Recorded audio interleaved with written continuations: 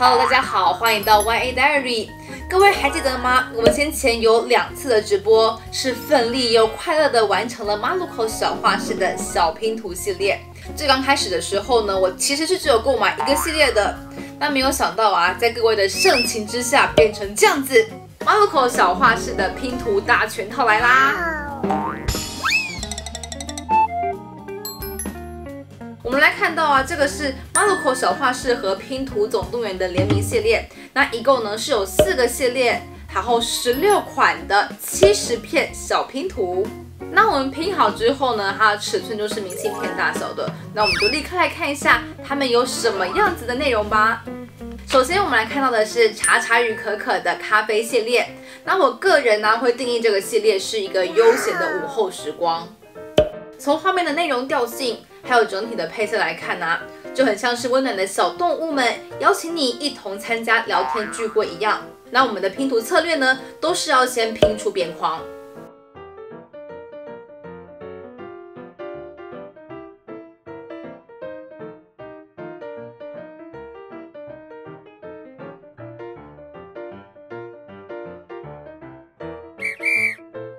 看到成品们，这两款横的是茶茶吃茶店，还有可可烘焙坊。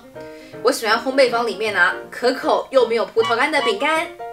那吃茶店里面的话，用三明治和松饼打造的桌子吸引了我的目光。那咖啡时光还有欢迎光临，都有一种悠闲感。那因为欢迎光临的角色啊有和我打招呼，所以我比较偏爱它。再来呢，我们要看到的是樱花约会系列喽。那这个系列里面，它的四款拼图啊，全部都是横向展现的，整体配色啊都非常的粉嫩、优雅、浪漫。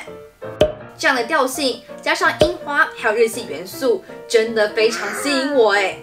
不过先前直播啊，我们采取四盒混拼嘛，那同款的色系啊，真的是差点要了我老命哎。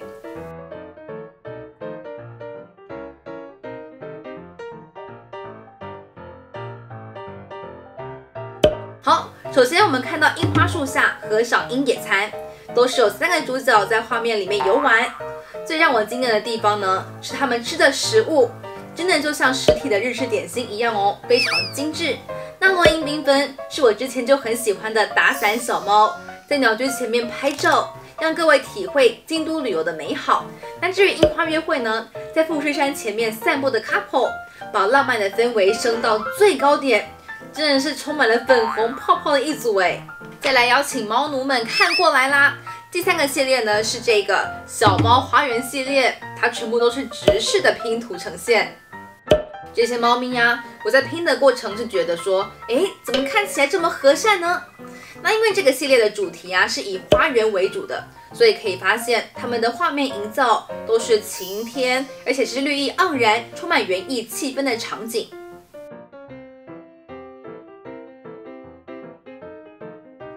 小猫花园这种花团锦簇的感觉，就像是他们几位真的是有好好照顾花园哦。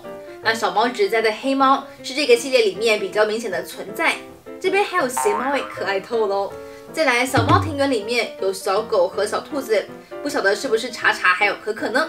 至于这个系列啊，我最喜欢的是小猫花坊了，原因很简单，就是又可爱之外呢，还有必备的美好郁金香，我给过。最后呢是刺猬布屋系列，那我们前面看到很多呢都是户外的场景，现在呢就和它一起回家啦。在拼的过程里面呢，我想说小刺猬在家里面可以做什么事情，这边呢给了我们不少的想象性哦，有一种一起参与他们生活的感觉。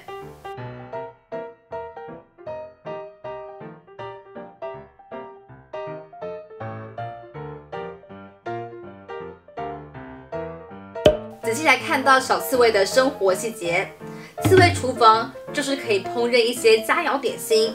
再来看刺猬午茶，可以在房间里面悠闲一下。小细节可以看到旁边的挂布还有手摆设啊，都有很多它自己的存在。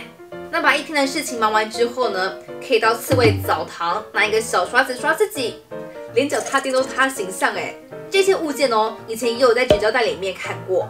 那最后的最后呢，能看到的是刺猬梦境。忙了一天也该睡了吧？这也是全系列里面唯一的夜晚景象。那同样的啊，这间房间从吊灯、拖鞋、摆饰什么的，都是走一个可爱刺猬风。整体来看呢，每一个系列的不同主题呢，它图样都非常的精致，而且它这一盒里面呢就只有七十片。优点呢是你可以很快的把它拼完，当成一种悠闲的放松小物。不过呢，也正因为如此，所以有一些图案呢，它的细节就没有办法非常精密的呈现。那我们期待未来可以有更多类型或是更多片的拼图来选择啦。